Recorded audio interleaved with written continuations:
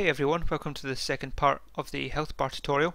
In the first part we got a um, health bar showing on the screen like this and we could edit how much health the player had and it would draw the corresponding health on the screen. So uh, just to refresh memory, current health equals full health but we change that to 100 then it will only draw 100 pixels of the width and that way we could manipulate how much the health is shown to the player. So to improve this, um, we want to be able to maybe change the colour. It's a pretty good thing. So we can have it green when it's three quarters full, yellow when it's about medium, and red when it's only got a quarter of the life left. So we'll do just to show the the the, the changing colours. We'll have it uh, animating from full health to zero health. So we'll do, do that just now. Yeah, it should be quite an easy change. So uh, in the update method, just add a condition checking the current health is greater than or equal to zero. And if it is, then remove the current health by um, rate of change, which doesn't exist at the moment. So create a variable, an integer called rate of change or whatever you want to call it.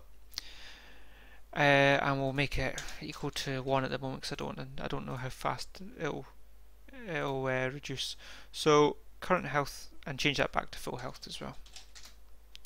So when we run that, we should have the animating health bar. There we go. Now it's going down. So now it will be easier for us to check um, the change of colour when the player's got a certain amount of health.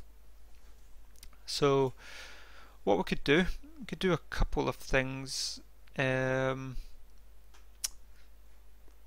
well, let's create the method. We'll create a method, call it um, health color. And we can go if current health is greater than or equal to the life bar dot width, so that's the full amount, and we want to get, well, we'll say over three quarters of it, then draw it green. So that's just times it by 0.75. Uh, we don't have a color variable to change because at the moment so we'll be wanting to change the color so let's just call this bar color and we need to create the variable for it as well. It's a color variable. So we'll call it bar color and we'll make bar color equal to color dot green. Else if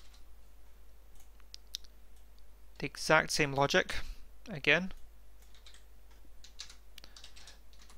bar color is equal to color dot yellow but we want to change this to a quarter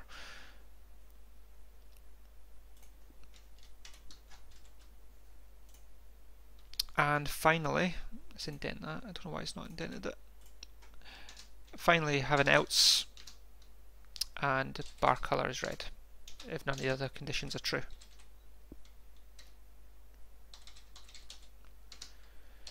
Okay, so let me just talk you through this before we see make sure it works. What I wanted to do is I want it to when the current health is three quarters, more than three quarters of the current width of the total width, I wanted to draw it green. If it goes below three quarters but above a quarter of the health, I want to draw it yellow, else it'll be red. So we want that to actually check, so we need to add that method to the update method is, so it gets called. So, and we also have the variable now in the color um, in the draw method, so that should work. Let's see. Green, good. Yellow, and then it should turn red. Yeah, there we go, excellent. So that's an easy way to change the colour depending on the health of the player. Um, of course you could add a lot more logic to this as well, you could add sounds for warning sounds for when a player is that low in health. There's lots of things you can do, but there's a, a simple uh, couple of minutes just to improve the, your existing health bar. Um, please uh, post in the comments any suggestions you have to improve this even further or even uh, on my website uh, in the description. Um, get in touch there as well, whichever you prefer. And I hope this has been helpful to you. Okay, thanks very much for watching, and please do comment if, uh, on what you want to see next in my tutorials for XNA. Thanks very much.